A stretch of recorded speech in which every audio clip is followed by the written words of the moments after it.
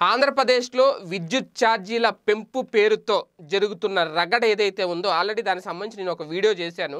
అయితే సామాన్యుడికి ఎలాంటి ఇబ్బంది లేదు అని చాలా స్పష్టంగా తెలుస్తుంది అందులో. ఎందుకంటే ఐదు వందల యూనిట్ల దాటిన వాళ్ళకి మాత్రమే విద్యుత్ ఛార్జీలు పెంచారు. అది కూడా యూనిట్కి తొంభై పైసలు. ఎందుకు అంటే ఆల్రెడీ తొమ్మిది రూపాయల ఐదు పైసలు ఆల్రెడీ ప్రస్తుతం పే చేస్తున్నారు. ఐదు వందల యూనిట్లు దాటిన వాళ్ళందరూ.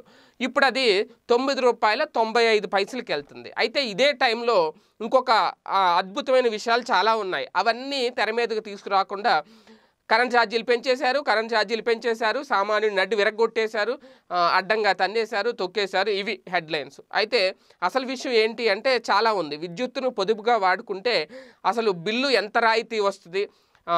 ఎంత ఇంకా ఇందులో ఆప్షన్ కూడా ఉంది. మనకే ఎదురు చెల్లించేలా కూడా బిల్లు రాయితీ ఒక యూనిట్కి రూపాయి రాయితీ ఇచ్చి కూడా పరిస్థితి ఉంది. ఓకే అసలు ఛార్జీలు ఎలా ఉన్నాయి? ఎవరికి పెరిగి డీటెయిల్గా చెప్పదలుచుకున్నాను ఈ వీడియోలో. మొత్తం మూడు కేటగిరీల్లో అంటే విద్యుత్ బిల్లులు అనేవి ఉంటాయి మొత్తం మూడు కేటగిరీల్లో. ఆ మూడు గ్రూపులు. ఆ గ్రూపులు ఏ అలాగే group B group C. Group A ద్వారా ఎలా ఎలాగ యూనిట్ ఛార్జీలు ఉంటాయి?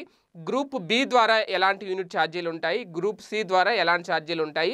ఏ టైంలో విద్యుత్తును ఎక్కువగా వాడితే తక్కువ కాదు ఎక్కువగా వాడితే ఇంకా యూనిట్కి ఒక రూపాయి ప్రభుత్వం నుంచే మీకు రాయితీ లభిస్తుంది. అంటే ఎక్కువ విద్యుత్ వాడడం వల్ల ప్రభుత్వం మీకు డబ్బులు చెల్లిస్తుంది. ఈ విషయం ఎవరికీ తెలియదు అది నేను ఇప్పుడు చాలా క్లియర్గా చెప్పే ప్రయత్నం చేస్తాను. ముందు group A group B group C unit ఛార్జీలు ఒకసారి చూసుకుంటే కనుక గ్రూప్ ఏలో డెబ్బై ఐదు యూనిట్ల లోపు గనక మీరు వాడినట్లయితే జీరో నుంచి యాభై యూనిట్ల లోపు వాడిన వాళ్ళకి యూనిట్ ధర రూపాయి నలభై ఐదు వయసులు పడుతుంది. అలాగే యాభై ఒకటి నుంచి డెబ్బై ఐదు యూనిట్లు వాడిన వాళ్ళకి యూనిట్ ధర రెండు రూపాయల అరవై పైసలు పడుతుంది. ఇక గ్రూప్ బి వినియోగం.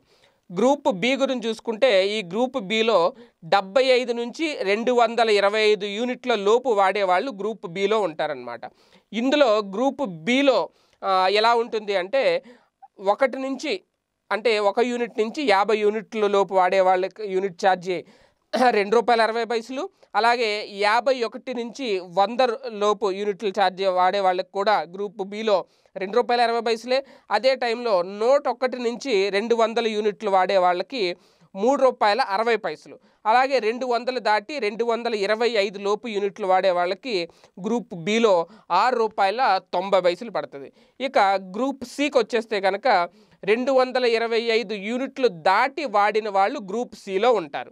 ఓకే. ఆ గ్రూప్ సిలో ఎవరు ఉంటారు అంటే సున్నా నుంచి యాభై యూనిట్ల లోపు వాడే వాళ్ళకి ఇక్కడ గ్రూప్ సిలో ఉన్న వాళ్ళు రెండు రూపాయల అరవై ఐదు పైసలు చెల్లించాలి. అలాగే యాభై ఒకటి నుంచి వంద యూనిట్లు కాల్చేవాళ్ళు మూడు రూపాయల ముప్పై ఐదు పైసలు చెల్లించాలి యూనిట్కి.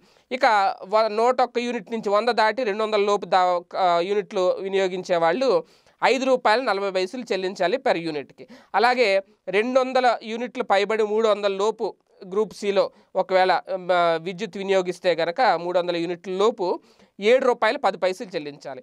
ఇక మూడు వందల నుంచి నాలుగు వందల లోపు యూనిట్లు అయితే ఏడు రూపాయలు తొంభై ఐదు పైసలు నాలుగు వందల నుంచి ఐదు వందల లోపు ఎనిమిది రూపాయల యాభై పైసలు చెల్లించాలి.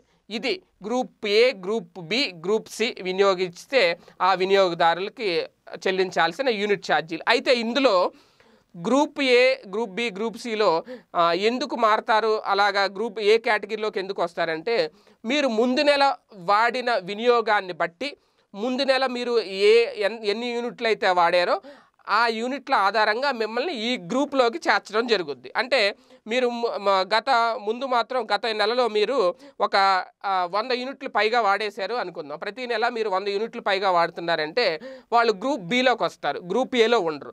ఎప్పుడు వంద యూనిట్లు లోపే మీరు ఉంటే కనుక గ్రూప్ ఏలో ఉంటారు. అదే మీరు ఇంకా ఎక్కువ అంటే రెండు వందల యూనిట్లు పైన ఎప్పుడు వాడేస్తూ ఉంటే వాళ్ళని తీసుకొచ్చి గ్రూప్ సిలో వేస్తారు. అది ముందు నెల బిల్లు ఆధారంగా వాళ్ళని ఈ గ్రూపులు అనేది మార్చడం జరుగుద్ది. ఇక పాయింట్కి వచ్చేస్తే ఐదు వందల యూనిట్లు. ఇప్పుడు పెంచిన ఛార్జీలు ఏదైతే ఉన్నాయో ఈ పెంచిన ఛార్జీలు గ్రూప్ ఏలో ఉన్న వాడికి వర్తించవు గ్రూప్ బిలో ఉన్న వాళ్ళకి వర్తించవు గ్రూప్ సిలో ఉన్న వాళ్ళకి వర్తించవు. మరి ఎవరికి వర్తిస్తాయంటే స్మార్ట్ మీటర్లు అంటారు వీళ్ళని. అంటే ఐదు వందల యూనిట్లు పైబడి కాల్చే వాళ్ళు ఎవరైతే ఉంటారో అంటే వాళ్ళు మధ్యతరగతిలోకి రారు దిగువ మధ్యతరగతిలోకి అంతకంటే రారు సామాన్యుల్లోకి అంతకంటే రాదు నిరుపేదలు పేదల జాబితాలోకి అస్సలు రారు.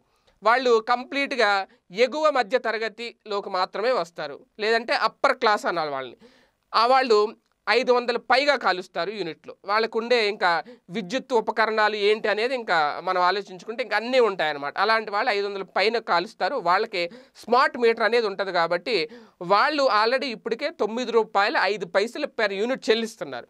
వాళ్ళకి ఇప్పుడు విద్యుత్ ఛార్జీల్లో యూనిట్కి తొంభై పైసలు పెంచడం జరిగింది ప్రభుత్వం. అంతే తప్ప సామాన్యుడికి వచ్చిన నష్టం ఏమీ లేదు ఇందులో. చాలా క్లియర్గా అర్థమవుతుంది. ఇక నేను పెట్టిన హెడ్డింగ్ మీకు దాని గురించి ఆ పాయింట్కి వచ్చేస్తే కనుక ఇక్కడ చాలా క్లియర్గా ఉంది. డిస్కమ్లు ఇచ్చిన ఆఫర్లు ఏంటి అంటే కనుక నెలకు ఐదు వందలు యూనిట్లు ఉపయోగించే వాళ్ళని స్మార్ట్ మీటర్లో జాబితాలో ఉంటారు కాబట్టి వాళ్ళు స్మార్ట్ మీటర్ ఏర్పాటు చేసుకోవాలి. వాళ్ళకి మాత్రమే ఈ యూనిట్ ఛార్జీలు పెరిగినాయి. ఇక్కడ టైమ్ ఆఫ్ డే అంటే టీఓడి ప్రకారం ఉదయం పది గంటల నుంచి మధ్యాహ్నం పన్నెండు గంటల మధ్య గనక ఉదయం పది గంటల నుంచి మధ్యాహ్నం పన్నెండు గంటల మధ్యలో విద్యుత్తును గనక ఉపయోగిస్తే వినియోగిస్తే అది కూడా ఎక్కువగా. మీరు ఎంతవరకు వినియోగించాలో అంతవరకు వినియోగించేసుకుంటే గనక లిమిట్ అవసరం లేదు. యూనిట్కి ఒక రూపాయి రాయితీ ఇస్తామని చెప్తున్నారు డిస్కమ్లు ప్రతిపాదించి. అంటే మీరు ఉదయం పది గంటల నుంచి పన్నెండు గంటలు. అంటే పది నుంచి పదకొండు పదకొండు నుంచి పన్నెండు. ఆ రెండు గంటల్లో కనుక మీరు అపరిమితంగా విద్యుత్తును కనుక వాడేస్తే కనుక ఇంకా ఎంత ఎక్కువ మీరు వాడుకుంటే మీరు ఏ కేటగిరీలో ఉన్నా సరే ఎంత ఎక్కువ వాడుకుంటే అన్ని యూనిట్లు ఒక యూనిట్కి రూపాయి చొప్పున మీకు రాయితీ ఇస్తారనమాట ఎందుకంటే ఆ టైంలో విద్యుత్ వినియోగం చాలా తక్కువ ఉంటుంది. ఎవరికీ తెలియదు ఆ విషయం. పెద్దగా ఎవరు వాడరు. సో అందుకని ఆ టైంలో విద్యుత్ వినియోగిస్తే కనుక ప్రభుత్వమే రాయితీ ఇస్తాము అని చెబుతుంది. ఎందుకంటే విద్యుత్ని మనమేం దాచుకోలేము ఒక పక్కన పెట్టుకోలేము. ఇవాళ ఫ్రిడ్జ్లో పెట్టి రేపు వాడుకోవాలంటే వాడుకోలేము కాబట్టి ఎప్పటికప్పుడు ఉపయోగించేసుకుంటూ ఉండాలి. అందుకని ఈ డిస్కంలో ఈ ఆఫర్ ప్రకటించినాయి. ఇవేమి ప్రజలకు తెలియదు వీటి గురించి ఎలాంటి ప్రచారం చెయ్యరు.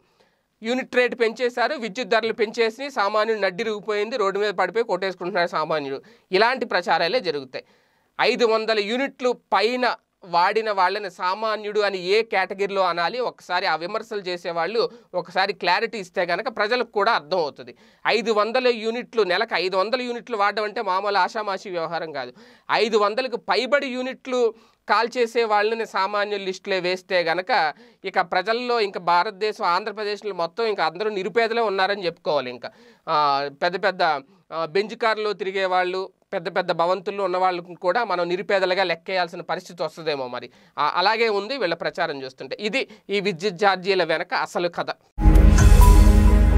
ఈ వీడియో గనుక మీకు నచ్చినట్లయితే లైక్ చేయండి షేర్ చేయండి. మరిన్ని వీడియోస్ కోసం మా ఛానల్ను సబ్స్క్రైబ్ చేయండి.